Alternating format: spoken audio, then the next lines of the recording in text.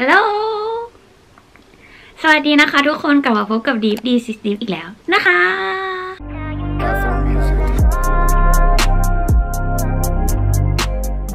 คลิปวิดีโอนี้เราก็จะมารีวิวกันอีกแล้วค่ะ ยังไงเราไปดูรายละเอียด แล้วก็ข้อมูลผลิตภัณฑ์ที่ดิฟหยิบมารีวิววันนี้ก่อนเลยดีกว่านะคะ ผลิตภัณฑ์วันนี้คือตัวนี้เลยนะคะ MAC Faster Light Sensitive Creamy Muscle Foundation นั่นเองนะคะ ตัวนี้จะเป็นกล่องผลิตภัณฑ์ด้านนอกของเขานะคะ ขนาดเขียนไว้เลยว่า 30 ml นะคะ ตัวนี้เป็นรองพื้นชนิดน้ำนะคะ เพื่อนๆ ก็คือเป็นเนื้อลิควิดประมาณนั้นนะคะ แล้วก็ตัวหนังสือต่างๆ ก็คือเป็นแบรนด์จากจีนเลยค่ะ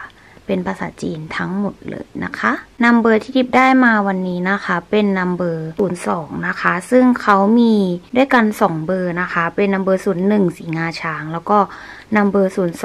สีธรรมชาตินั่นเองค่ะ ด้านในของขวดนะคะ หน้าตาจะเป็นแบบนี้เลย เป็นขวดแก้วนะคะเพื่อนๆ แล้วก็ฝาสีดำนะคะ ขอบ ด้านของขวดนี่จะเป็นสีทองนะคะ แล้วก็เขียนไว้ว่า Max F A S F E R นะคะ ด้านหลังไม่ได้มีอะไรเลยนะคะ แล้วก็มีเป็นสติกเกอร์ใต้ก้นขวดเนี่ย ก็ติดไว้ว่า number 02 หรือว่าเลข 2 นะคะ เหมือนกับตัวกล่องของเขานะคะ ฝาก็จะเป็นฝา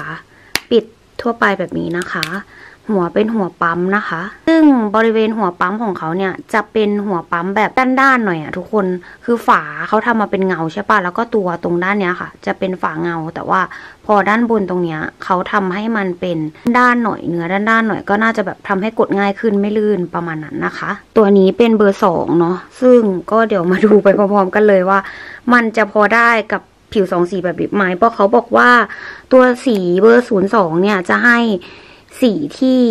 ธรรมชาตินะคะ แล้วก็เหมาะกับผิวขาวเหลือง หรือว่าผิวหมองคล้ำนะคะ เน้นให้ลุกธรรมชาติ แต่ว่าก็จะให้ความชุ่มชื้นกับผิวด้วย ช่วยปกปิดได้ดี แล้วก็ติดทนนาน เนียนสวยเป็นธรรมชาตินะคะ ตลอดทั้งวันเลย ปาดไม่ได้แบบสนใจอย่างอื่นอะไรก็คือ ความปกปิดได้ดีเลยนะ แล้วก็สีดูทำให้ผิวผ่องดีอะค่ะ ไม่ได้ดูขาววอกเกินไป แต่ว่าก็ไม่แน่ใจว่าถ้าลงกับผิวหน้าจะเป็นยังไง เดี๋ยวเราไปรอลงบนผิวหน้าดูไปพร้อมๆกันตัดสินใจไปพร้อมๆ กันเลยดีกว่านะคะ เป็นยังไงกันบ้างคะหลังจากที่ดูรายละเอียดผลิตภัณฑ์เป็นที่เรียบร้อยแล้ว มีความคิดเห็นยังไงบ้าง น่าลองหรือเปล่า หรือว่าใครเคยลองใช้แล้วเป็นยังไงบ้างคะ คอมเมนต์ก่อนได้เลยนะ หรือว่าใครที่ยังไม่ได้ลองใช้ ก็ไปดูพร้อม ๆ กันเลยดีกว่าค่ะ ดูผิวหน้าของดิฟกันก่อนนะคะ ซูมกันเข้ามาใกล้ๆเลย นี่จะเป็นผิวหน้าของดิฟในปัจจุบันวันนี้ที่เรารีวิวกันนะคะ ก็จะมีรอยแดงต่างๆ แล้วก็มีเป็นแบบ ผดผื่นอะทุกคนผิวแห้งนะคะ ก็คือเป็นแบบผิวแห้งแพ้ง่าย คือมันระคายเคืองง่าย แล้วก็บริเวณกรอบหน้าก็จะแห้งทั้งหมดเลย คือบริเวณเนี้ยคือ ตอนเนี้ยแห้งทั้งหมดเลย ถึงแม้ว่าลิปจะลงจะกินแคร์ไปแล้ว แต่จับดูตอนนี้ก็คือผิวแห้งมากนะคะ ก็ยังไงเดี๋ยวเราไปลงรองพื้นกันเลยดีกว่าค่ะ ลองก่อนข้างหนึ่งดีไหมทุกคน ขออภัยถ้าหากดิบมองไปด้านข้างนะคะดิบต้องกระจกไว้ข้างๆ ปกติอะถ้าดิบใช้พับคูชั่นอะไรเงี้ยทุกคนดิบจะแบบกดให้มันเต็มหน้าพับอะแล้วก็ค่อยค่อยป้ายนะ แต่อันนี้ดิบเห็นว่าแบบตัวเองป้ายไปแบบเต็มที่แล้วไง ก็เลยไม่ได้ปาดให้เต็มหน้าพับนะคะนี่เป็นหน้าหนึ่งข้าง อันนี้ไม่ได้ทานะคะ ก็อันนี้ทาแล้ว สำหรับเบอร์สองนะทุกคนได้ความขาวประมาณนี้ ก็คือขาวขึ้นมาประมาณแบบ1นถึงสระดับเลยอะสำหรับผิวดิบนะ เรื่องของการปกปิดคือไม่ได้ปกปิดขนาดนั้นสำหรับการใช้พับคูชั่น เพราะว่าก็อาจจะพับกินไปด้วยหรือเปล่าไม่มั่นใจ แล้วก็หนึ่งพัมที่ลงไปเมื่อกี้ก็ไปหมดแล้ว ดูมันไม่ได้ค่อยติดหน้าเท่าไหร่เลยอะมันมันติดไปพับมากกว่า แต่ปกติดิบใช้พับคูชั่นมันก็แบบไม่ได้แบบนี้ปะมันแบบมันก็ ปกปิดให้นะ มันอยู่ที่เนื้อรองพื้นด้วยนะ หรือว่าเราใช้ผิดหรอพอบิวเพิ่มก็คือได้ ตบเพิ่มก็คือสวยเลย เนี่ย ปกปิดเลย อะ รอยแดงตรงนี้ก็หายไปเลย รอยดำตรงนี้ที่ดำกว่าเมื่อกี้ก็หายไปเลย ตรงเนี้ยตอนแรกแดงกว่านี้ก็หายไปเลยนะคะ มันอาจจะกินพับรองพื้นไปแล้วก็ดิบไม่ได้ปาดลงไปบนเอ่อพับคูชั่น แล้วก็ไม่ได้ตบแบบเต็มที่ขนาดนั้นนะคะ โอเค ดิบลงสองรอบก็คือได้ แล้วก็อ้างว่ารู้สึกว่าสองรอบมันแบบมันปกปิดไม่พอ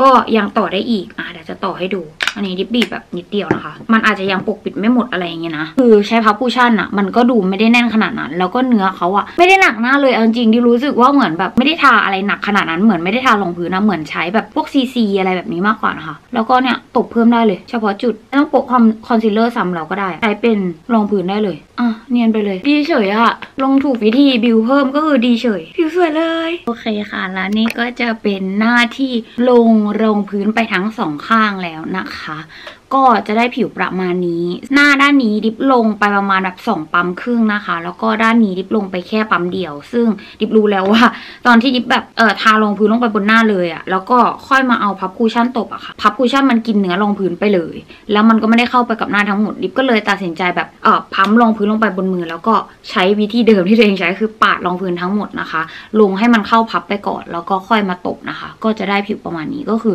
ดูกริบกว่ารอบแรกที่ดิบลงให้ดูเนาะก็คือรอบหนึ่งก็คือผิวสวยเลยสองพัมครึ่งลงไปสามครั้งก็คือครั้งแรกดิบลงไปแบบบางๆ ก็จะได้ผิวประมาณนี้นะคะ แล้วก็ครั้งที่สองลงไปก็จะให้ผิวที่แน่นขึ้น แล้วก็ครึ่งพัมเนี่ยดิบเอามาตบเฉพาะบริเวณที่แบบมีจุดด่างดำสองข้างมีความต่างอยู่นะ ข้างนี้จะดูแน่นกว่าอย่างเห็นได้ชัดเลย แล้วก็ข้างนี้จะดูเบาบางกว่าค่ะมาพูดถึงเรื่องสีแล้วกันเนาะสีของผลิตภัณฑ์น่ะเขาบอกว่าผิวสองสียังใช้ได้คือเอาจริงก็ใช้ได้ ใช้ได้ในที่นี้คือใช้ได้สำหรับคนที่มีผิวเข้ม แต่ชอบความกระจ่างใส ชอบความยังแบบให้ผิวดูสว่างขึ้นอีกเฉดหรือ 2 เฉดประมาณนี้นะคะ แต่ถ้าใช้แบบจริงจังเลยไม่ได้แต่งตัวปกปิดแบบนี้จะเห็นว่ามือกับหน้าดิฟเออแล้วก็คอดิฟเนี่ยจะคนละสีกันจะเห็นเลยว่าแบบมันคนละสีกันนะคะ ก็